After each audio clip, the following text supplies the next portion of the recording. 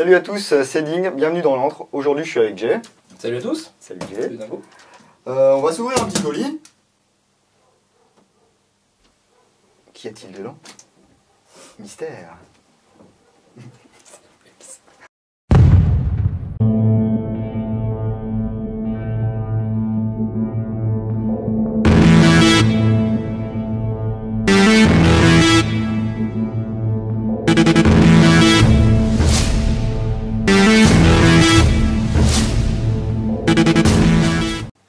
Dingo, montre tout ce qu'il y a là-dedans. Eh oui, grâce à mon, à mon knif. Attention, ça coupe, je ne voudrais pas te, te couper euh, un bras Euh, euh, je m'éloigne un petit peu. ou, ou une jambe. Hop. Donc c'est un colis Qui vient d'où? qui vient de Taïwan. Taïwan? Ça vient de Taïwan GG, King Arms. Non, c'est un colis qui vient d'une boîte qui fait clac clac. Ça fait clac clac. Alors pour l'instant, ouais, euh, Ah, ah, pour l'instant on ne sait pas. pas plus d'indices que ça. Pas plus d'indices que ça. Ça y est, moi je sais. Je sais, c'est écrit sur le côté de la boîte. Moi j'ai pas besoin du couteau, c'est pas manuel. Voilà. voilà. D'accord, ok. Tadam Un des futurs modèles de chez Bolt. Donc en l'occurrence ce sera Bolt Europe. hein. Ouais, B4 Elite Oui, Force. Elite. Force. Ce sont des modèles qui ont été, euh, enfin dont le cahier des charges a été établi par Bolt Europe. Ouais. Voilà. Donc ils viennent normalement euh, avec pas mal d'accessoires. Moi ce que j'aime bien déjà, tu vois, là c'est écrit en français. Donc on a quoi Ne regardez jamais à l'intérieur du canon. Oui. Si si, ah, non mais il est tout à fait nécessaire de l'écrire, Voilà. hein, c'est important. Portez toujours des protections homologuées. Je sais pas si les gens qui le feraient savent lire, j'ai un doute, C'est vrai. c'est pas sûr. Je sais même pas d'ailleurs s'ils devraient avoir ça entre les mains. C'est- oh, ouais, Sélection naturelle. Voilà. si. Et lisez toujours le manuel d'utilisation avant de vous servir du produit. D'accord. Déjà, je sais qu'il doit y avoir un manuel euh, dans la boîte. On va voir ça. Hein. Là, moi j'ai vu deux trucs en plus. Ah, hein. t'as vu deux trucs en plus Alors on a Color, donc Ah oui. euh, Black Tan FG Foliage Green vert un peu. Hein. Ouais. Donc on voit que c'est on va avoir une réplique euh, black. Black. Et là par contre il y a un truc qui m'inquiète un tout petit peu plus. Ah, c'est les mètres par seconde ça. Ouais, mètres par seconde 95, 105, 120 et sur la boîte on est à 105. 105, ça fait euh, 350 FPS. Euh, environ, mais bon, euh, hein, on sait que généralement ça tape toujours plus fort que ce qui est indiqué. Donc, C'est pas grave, c'est pas grave, euh, ça fera des trous dans les copains. Ouais, mais bon, tu parlais d'un truc européen Bah, tu sais, euh, en France, c'est deux joules après tout. Hein. Oui, c'est vrai. Voilà, après, c'est le bon sens qui nous dicte. euh. Hop, donc, alors, pas mal. Des pads euh, polystyrène à l'intérieur du couvercle. Qui permet à la réplique de ne pas euh, bouger dans tous les sens lors du transport. Tout à Non. l'heure- tout à l'heure, quand tu l'as secoué, ça faisait pas de bruit en tout cas. Oui, et puis là, on a vu qu'il y a eu un choc au niveau, euh, au niveau du, du coin du, du carton. Et à l'intérieur, ça a l'air d'être à peu près euh, C'est toi en fin d'apéro quand t'es tombé dessus. vivant. Ouais, c'est ça. Ouais C'est c'est pas mal. Hein. Des autocollants Bolt. Moi, j'aime les goodies. euh, franchement, envoyez des goodies, les gars. Envoyez. Ah, un certificat de produit. Bah, c'est pas mal, bah, ça tombe bien, on en parlait tout à l'heure, on a la correspondance entre les mètres par seconde, les joules, Ouais. pour la réplique. Et donc là, on est sur. euh, donc, ils, ils ont fait euh, 10 essais. hein. Euh, Voilà. euh, Et on est entre euh, 1,08 joules et, euh, et 1 joule euh, pile poil. hein. ouais, c'est pas mal. Hein. Donc c'est pas mal, on devrait être en dessous euh, de 350, hein, peut-être 330, 1 joule, si ma mémoire me. Ils ont bien précisé à la 0,20, c'est Oui. ouais, important quand même. Plastique. D'accord, et on a même le nom de la personne qui était en charge des tests. hein. Oui, monsieur Jeff euh, Tsai et Aaron Chen. Ouais. Les gars, euh, thank you very much. c'est pas dans toutes les boîtes qu'on peut voir ça. C'est euh, vrai, c'est vrai, on trouve ça chez VFC, on trouve ça chez Reelsword aussi. Euh, et puis sur les répliques qu'on peut recevoir parfois de certaines boutiques en Pologne. C'est vrai. Qu'est-ce qu'on quoi donc? Et ben, le fameux manuel, t'en parlais Ah. tout à l'heure. Oui. Alors, manuel pour Bolt. euh, alors, est-ce qu'il est en français? Donc là, on a. Là, on a un éclaté euh, de la crosse, du garde-main, tout ça, bah, même un poster. limite. Ouais, ça c'est sympa en cas de démontage ou de perte de pièces. Ouais. Notice. Alors là, par contre, c'est bien. C'est pas, c'est pas le plus important, mais euh, c'est c'est assez rare pour le signaler. Notice en français. Et oui, Ouais. Et traduite euh, bah, par les gens de, de Bolt Europe hein, d'ailleurs. hein. Et euh, Alors, on retrouve à la fin l'éclaté, avec les numéros de pièces, etc. Ouais. Comment installer la batterie. Et tu vois, il y a même le démontage. Ouais, c'est pas mal, c'est pas mal. Il est intégralement en français. Il n'y a pas, il y a pas, euh, parce qu'il y a quoi Il y a une quinzaine de pages. Mm. Ouais, il y a une dizaine de pages. Par contre, il n'y a pas euh, trois pages de français, trois pages d'espagnol, trois pages de. Non, c'est vraiment français. quoi. Français, Donc, français, euh, ouais. Ça c'est bien. Ça c'est vraiment bien quoi. Oui. Il y a d'autres précisions, t'as vu? Canon externe en une seule pièce, Ouais. ok. Canon Canon interne de précision. de précision. Ah, c'est peut-être les fameux canons Bolt 6.0. Alors, on ne sait pas trop si c'est vraiment du 6 mm ou Tant que quoi. c'est pas juste pour préciser qu'il y a un canon interne, ça me va. Ouais. Moteur haute efficacité. Ouais. Alors, euh, haute efficacité. euh, ou- tu verras pendant, pendant les tests. hein. Oui, on verra. Et puis câblage, euh, câblage arrière aussi. Ça, c'était euh, une spécificité. Et on voit bien que le câblage est à l'arrière car il sort du garde-main. Voilà. Je pense, euh, d'après la- C'est les, une boîte qui doit servir à plein de modèles différents. Ouais. façon, donc, euh, c'est Et d'après les c'est- conversations que j'avais eues avec euh, du coup les gens de, de Bolt Europe, je pense qu'on n'a pas une version Europe définitive parce qu'au niveau des accessoires intérieurs de la boîte, c'est c'est pas tout à fait encore ce qui, ce qui sera proposé aux gens, je pense. hein. D'accord. Mais bon, ça fait une heure que vous voyez pas en fait ce qui est dans la boîte. Voilà, vous ne voyez pas beaucoup plus. Voilà. Donc, C'est lourd Vous voyez, ça tient. Ça tient, c'est... Oh non, ça va. Hein, euh. Même si j'ai pas beaucoup de muscles. Hein, euh, hein, C'est large. c'est. Ah, on est à 3 kg 2, 3 kg Oui, c'est correct, hein, c'est correct. Donc à l'intérieur, ça tient bien. Hein. C'est dans scotché ou quoi? C'est scotché sans doute, ouais. Ah bah non, c'est de la Ah, colle. c'est collé, ouais. Donc au, pist- D'accord. au pistolet à colle, euh, un chargeur. Dégage. Chargeur euh, en métal. High cap High cap, oui. Ouais, high cap, ouais. Avec la belle petite molette. Bien, ouais, ça a l'air bien raide, hein. Euh, J'aime pas ces bruits. Ouais, ouais, c'est un high cap, mais C'est un euh, high cap, c'est un high cap. ça va, ça a pas l'air. euh, Bon, ça a l'air correct, quoi. Oui, ça permet de, de, de profiter de votre réplique en jeu sans avoir à vous ruiner de suite, euh, acheter des chargeurs supplémentaires. Il est relativement euh, lourd. Hein. Une petite boîte. Tiens, petite boîte.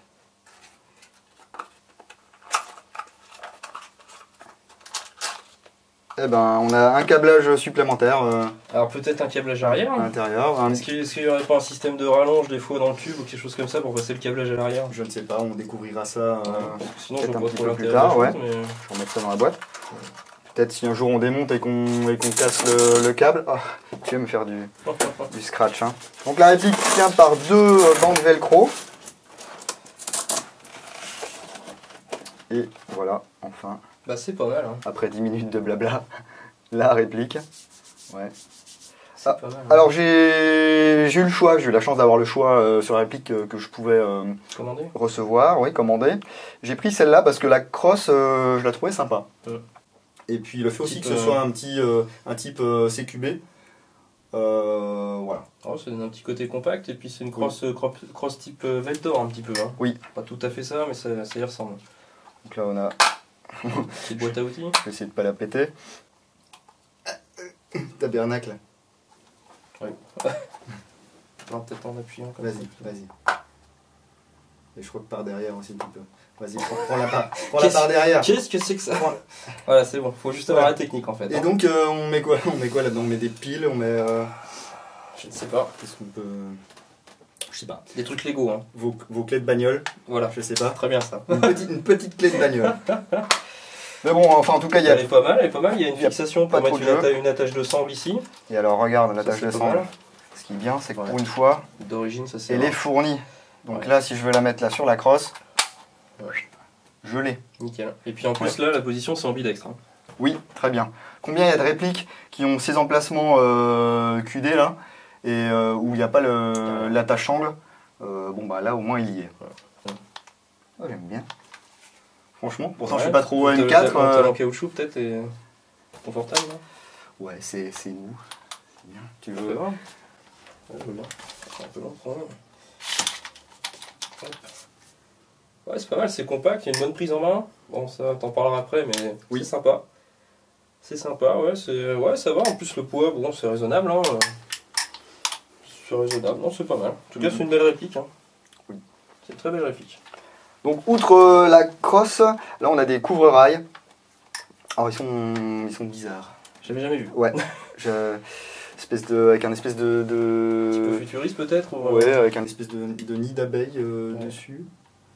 Euh, et puis donc un arrêtoir euh, en bas là pour, euh, bah, pour prendre son- sa, sa position de Ouais, tir euh, une espèce de, de grille angulaire. à, la, à la Chris Costa peut-être, je ne sais pas. Ouais, c'est sympa, hein, j'aime Bah écoute, ça, c'est- voilà, tu Ouais.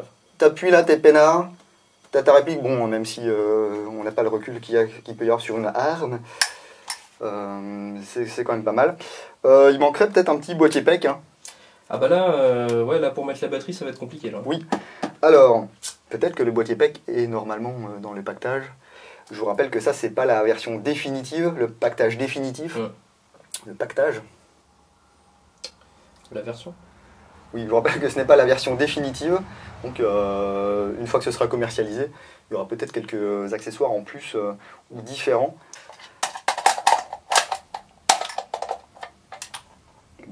Ouais, ça va. Est-ce que j'ai un chargeur? Oui. Oui, parce qu'il y a quand même une chose dont on n'a pas parlé depuis le début, on a parlé de Bolt, hein, mais il y a quand même une spécificité des répliques Bolt. Hein. Chut Je regardais la. Ok. on devrait le voir tout de suite si ça fonctionne. Déjà, là. Pas de jeu. Bon, pas plus que chargeur d'origine. hein. Donc, a priori, compatible avec les chargeurs M4 standard. Donc, ça, c'est chouette. Comme ça, vous n'avez pas besoin de racheter des chargeurs si vous en avez déjà chez vous. Et puis, Bolt, oui, euh, la spécificité. Quelle est donc euh, la spécificité? Faut que tu mettes une batterie. Faut que je mette une batterie, c'est vrai Batterie ah ah. Euh, Donc là, c'est une 11 volts 1 euh, LiPo 18C. 1100 mAh.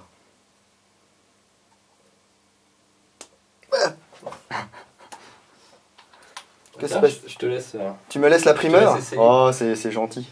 Non, je préfère que ça te pète dans les doigts en fait. C'est la tienne. La confiance à Je suis content qu'il n'y ait pas eu de bille, tu vois, parce que sinon la caméra était morte. Euh, C'est vrai que ça, j'y pensais vraiment à tiré. Oui, ouais, ça- Faut oser. oh.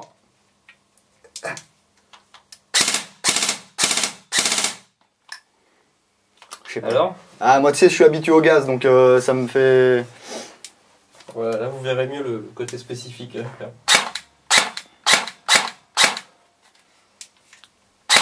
C'est marrant parce que C'est bizarre parce que là, quand tu tires, euh, j'ai l'impression qu'il y a plus de recul que quand je tire. Parce qu'elle tressaute vachement la réplique. euh, honnêtement, moi j'ai l'impression que le recul il est dans le canon, il est pas dans la crosse. Oui. C'est assez curieux. Je vois plus le canon trembler que je, je sens en fait dans la crosse. C'est Mhm. vraiment. euh, Ouais, je- dans- j'avoue que dans l'épaule je le sens pas des masses. ouais. Moins qu'avec l'autre version que tu avais pu avoir. La BR, qui était la BR47. Ouais, la BR47, le, le recul, il est assez euh, surpuissant. Ouais. Euh, niveau marquage, on n'en a pas trop parlé. Euh, bah forcément, euh, on va retrouver les marquages Bolt. Hop, B4 A1 5,56 556, Attention, c'est du vrai. Hein. ça fait peur. Hein. Et donc euh, Bolt Airsoft Made in Taiwan avec le logo. Le, hop-up, qu'est-ce que c'est non Hop hop, euh, bah, c'est classique à, à Bolt. hein. Euh, moi, ça fait, Ouais. ça fait un peu plus d'un an que, que je tripote. euh, Bon, On les voit de plus en plus sur Quel- les répliques quelques- Icon 4, hein, hein, vrai que- Donc c'est hop hop à molette. euh, Axé, euh, axé sur le canon, on va dire. Oui. c'est plus la bolette sur le côté. euh, oui, on oui. a pu voir euh, sur de nombreuses répliques. hein. On va tout ça en détail, bien sûr, dans la revue écrite. Euh, on n'a pas de, de ball catch. Comme je testais tout à l'heure. Ouais, donc pour, euh, pour régler votre hop-up, en fait, eh bien, il faudra maintenir euh, vers l'arrière et puis donner un petit coup, mais Ouais. bon, il est, il est ferme tout en n'étant pas non plus trop trop dur, donc euh, ça va. Ok, donc ici votre euh, poignée, euh, handle, ouais, poignée de transport. poignée de transport. Vous pouvez la virer pour mettre euh, l'optique de votre choix. Ça donnera un petit côté un peu plus moderne, hein, parce que là c'est un peu dommage d'avoir un truc euh, un peu futuriste, une crosse pareille, et puis, euh, et puis un truc, euh, bon, un truc de M16, là c'est un peu. Après c'est les goûts, les couleurs. hein, mais Oui, je- je oui, que ça va pas super bien ensemble, euh, mais, je crois qu'il y a des versions avec un petit un flip-up Ouais. qui, est peut-être- qui fait peut-être un peu plus moderne. Bon, ça permet aux gens de choisir aussi le. Après, pour ceux qui n'ont jamais vu, ça va Ouais. super vite. hein. C'est, c'est, C'est vraiment de la customisation facile. hein. Voilà. Il y a du rail, on peut mettre l'accessoire qu'on souhaite. Et, puis- et devant, donc vous avez un, un quadruple rail. Ouais. Euh, vous pouvez mettre toutes les petites affaires euh, dont vous avez besoin. Hein, lampe, Lance-grenade, euh, laser, lampe. euh, porte-clés. euh, ce qu'on veut. Pareil, le cache-flamme, hein, le cache-flamme c'est. Ouais, c'est bon, il y a un filetage, donc euh, Oui. certainement du 14 anti-horaire. Donc euh, Il y a des chances, ouais. voilà, une fixation de baïonnette ici, c'est pour ceux qui veulent. Mm, mm, mm. Enfin bon, ça c'est des trucs assez classiques qu'on retrouve sur euh, la plupart des M4. hein. Ah, il y a un petit peu de jeu là dans le garde-main. Oui, c'est Peut-être qu'il est pas verrouillé. Ouais, non, il n'est Ouais, pas, voilà. serré correctement. Bon, bah ici, vous voyez, vous avez un, un écrou de canon. Euh, En tout cas, dans ce, jeu- ce type de gardement, on a rarement du jeu, hein, même avec le temps, euh, oui. Bah, puis là, vu la, vu la taille du filetage et tout, une fois bien serré, ça devrait pas bouger. ça devrait pas bouger. Ça devrait pas bouger. hein. Petit, petit détail à noter quand même, c'est ce que je disais à Dingo tout à l'heure. Le... Moi, je suis, je suis pas, je suis pas conquis par la finition de la réplique. hein. Alors, à quel niveau? Au niveau, euh, Niveau peinture, niveau couleur? Au niveau, au niveau de la peinture, bah, de la couleur déjà, c'est un noir, euh, un noir profond, mais euh, ça fait pas, ça fait pas flingue quoi. C'est, euh, moi je trouve pas. Ça fait pas Je trouve flingue. que ça fait trop propre, ça fait, Ah. ça donne un côté un peu D-boy, un peu, un peu ce qu'on appelle cheap quoi. Oui. C'est un peu dommage sur une réplique comme ça, je trouve. ça, je trouve ça un petit peu dommage. Ouais. Mhm. Je trouve que les, les corps King Arm GEP sont, sont beaucoup plus beaux parce que c'est une réplique qui va se trouver dans ces gammes là à peu Ouais. près. hein. Je trouve qu'ils sont beaucoup plus jolis, pas entre autres, hein, mais par exemple. Quoi, Ouais, ils sont, euh, sont un peu gris, euh, gris foncé euh, souvent. ouais. Euh, effectivement, ouais, la, cou- la couleur est, est vraiment différente. hein. Voilà. Bon après c'est les goûts les couleurs, mais moi je sais que c'est souvent une, une couleur que j'ai assimilée aux, aux répliques plus d'entrée de gamme que haut de gamme quoi. Ouais. Ouais, je trouve ça. Bon Après, après c'est le détail. hein. La couleur fêtait le moine? Un petit peu quand même. non non non non. Tu dis Non, ça parce que je suis black C'est ça. Y a du bien, il y a du- il y, a du bon, il y a du positif avec cette tache de sang, la crosse qui a de la gueule, le garde-main qui est spécifique mais qui a, qui a une gueule sympa quoi. Euh, Après le kick, euh, ben, en, Bah, dessous, de- en dessous de ce qu'on pouvait attendre, je crois quand même. hein. Bah oui, t'as vu l'autre coup avec la en dessous, BR47, c'est, euh, on, on était époustouflifiés. Et Ouais. puis, Ouais. puis là, c'est un, petit peu moins bon. Alors, on l'a pas passé non plus euh, encore au. Euh, ça peut venir euh, aussi du ressort qu'il y a à l'intérieur. hein. Parce que plus tu auras un ressort puissant et plus Ouais. euh, ça va revenir vite C'est sûr. et plus tu auras un effet de, de choc. hein. L'autre faisait, la Ça BR47 va, faisait. euh, non, non, moins que ça, elle faisait moins de 350. D'accord. Ouais, elle faisait 3, 3,47, quelque chose comme ça. D'accord. Euh, du coup, là, si on est à 1 joule, euh, 1 joule, ça fait quoi 3,20 3,20, 3,30 Ouais, non, Ouais, ouais, on- il n'y aurait pas, pas autant de différence que ça, je ne sais pas. Enfin, bref. Peut-être que les modèles de la production finale seront, seront un peu différents. On est bien sorti là. Ouais, je pense que Ah, c'est pas mal. c'est pas mal. Euh, mais euh, bon, écoute, moi, je. Tout dépendra du, du prix de commercialisation hein, aussi, Ouais. parce que ça, ça y fait beaucoup. T'as pas du tout d'infos là-dessus? Euh, J'en ai, mais euh, je les ai pas en tête. Je crois que c'est aux alentours des 450 euros quand même. D'accord. Oui, donc on est placé sur. euh, On commence à être dans l'autre gamme quand même là. Oui, oui, 450 euros, ça commence à faire. Euh, donc, euh, bon, on a quand même un package euh, qui, d'après également mes sources, devrait normalement venir avec une batterie. Justement, une poignée spécifique pour l'avant. Il y a eu, ils ont communiqué là-dessus euh, sur, sur Facebook. Je vous mettrai une petite image euh, là. Euh, petite image. Vas-y, vas-y. petite image. Euh, donc voilà, là on est, on est quand même sur de la pré-production hein, pour, pour l'Europe. Mais on constate déjà que le manuel est en français. Euh, donc manuel traduit, les boîtes euh, traduites, les informations sur le décret qui vont bien. Euh, donc ça avance euh, petit à petit euh, chez Bolt Europe. Et puis ben, j'espère bientôt vous donner d'autres nouvelles, de plus amples nouvelles. C'est là de toute façon je vais la démonter. hein. Elle va y avoir droit, son petit démontage. Euh, je vous ferai savoir s'il y a eu des modifications par rapport au modèle qu'on avait eu il y a un an. Parce que je ne sais pas si tu te souviens, Oui. pour le tout premier numéro de Red Dot Magazine, on avait eu la chance d'avoir un des premiers exemplaires des nouveaux modèles Bolt euh, de l'époque. Et puis, euh, et puis c'était déjà pas mal. hein. Magazine qu'on peut retrouver, magazine numérique qu'on peut retrouver sur le site. Pour ceux qui veulent voir l'article, faut pas hésiter de, à le télécharger. Oui, c'est Il est disponible et c'est euh, 1,90€. Un, je un crois. 95, ouais. Un 95, Ouais. ouais, 95 quand même. hein. Ah, 95 Ah, quand ça fait un Mais tiers de paquet de clope, hein. hein. C'est plus pas... Ah, quand même, c'est un paquet de clope aujourd'hui. Un tiers de paquet de clopes. bon, voilà, pour ceux qui veulent, en tout cas, vous pouvez retrouver l'article qui était pas mal et qui était bien détaillé. hein. Donc. Allez-y. Oui, allez-y. Euh, on va aller euh, faire quoi là? Boire un coup? Ouais, pourquoi pas. Ouais. ouais. Et puis bah, à bientôt dans l'entre du dingo. Salut. Salut.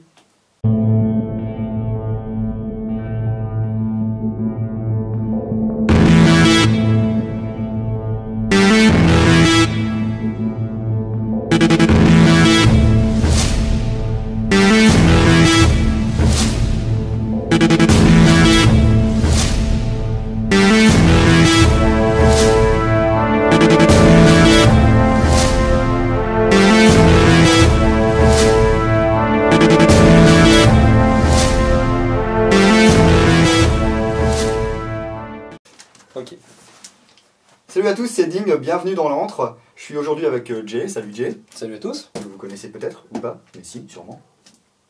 On l'a refait